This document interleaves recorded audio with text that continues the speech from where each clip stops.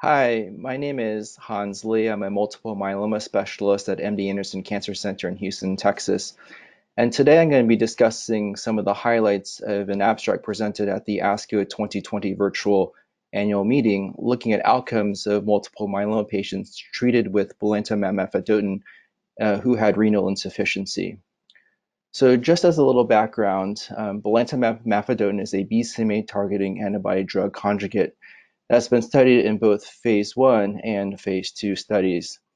Notably, um, the DREAMM-2 study was a phase two randomized study that evaluated patients with relapse refractory multiple myeloma with at least three prior lines of therapy and who are refractory to IMiDs, proteasome inhibitors, and refractory or intolerant to anti-CD38 monoclonal antibodies.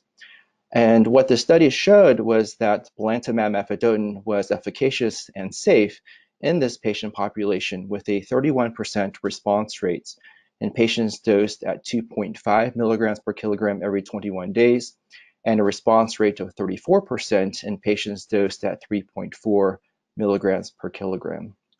So in the abstract that I'm going to be discussing, we were interested in looking at if there are any differences and the outcomes in terms of both efficacy and safety in, in, patients with normal renal function and those with mild or moderate renal impairment in patients dosed with belantamab mafodotin.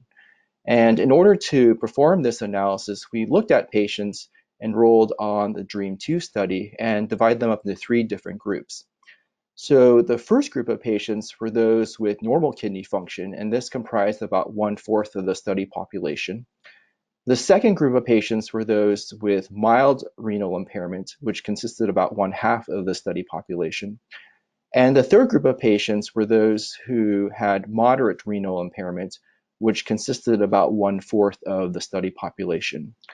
And it's important to note that patients with severe renal impairment, which is defined as a glomerular filtration rate of less than 30 milliliters per minute, or those on hemodialysis were not eligible to enroll on the DREAMM-2 study. So we don't have data for that. So when performing this analysis and after performing the analysis, we found um, that there were no differences in the overall response rates, duration of response, or progression-free survival in patients with normal renal function, mild renal impairment, or moderate renal impairment. So the efficacy of the drug seemed to be the same in the three different groups.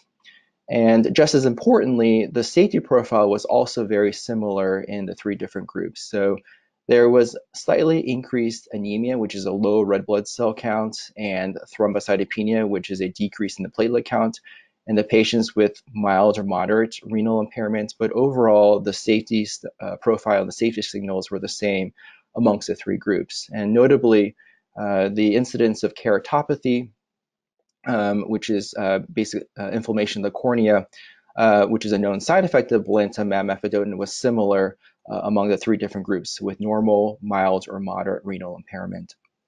So this particular study um, is very important to multiple myeloma patients because we know that many myeloma patients have some degree of kidney impairment either due to age or due to the nature of myeloma itself that we know that myeloma can negatively impact kidney function. And so we are definitely in need of new myeloma treatments um, in 2020, particularly patients who are refractory to drugs that are currently FDA approved. And so knowing that there are promising therapies on the horizon in which patients with mild or moderate renal impairment can take, both uh, from a safety standpoint, but also without compromised efficacy, is very important to know about uh, drugs that are uh, coming down the pipeline.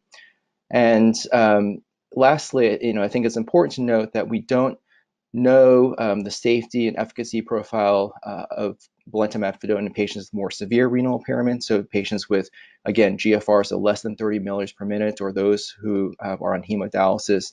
Uh, the um, belantamab is not renally metabolized, so it's very possible that this drug could be um, efficacious and safe in this particular patient population, more severe renal impairment. But those studies um, need to be performed, um, and we'll wait that data when that, that becomes available.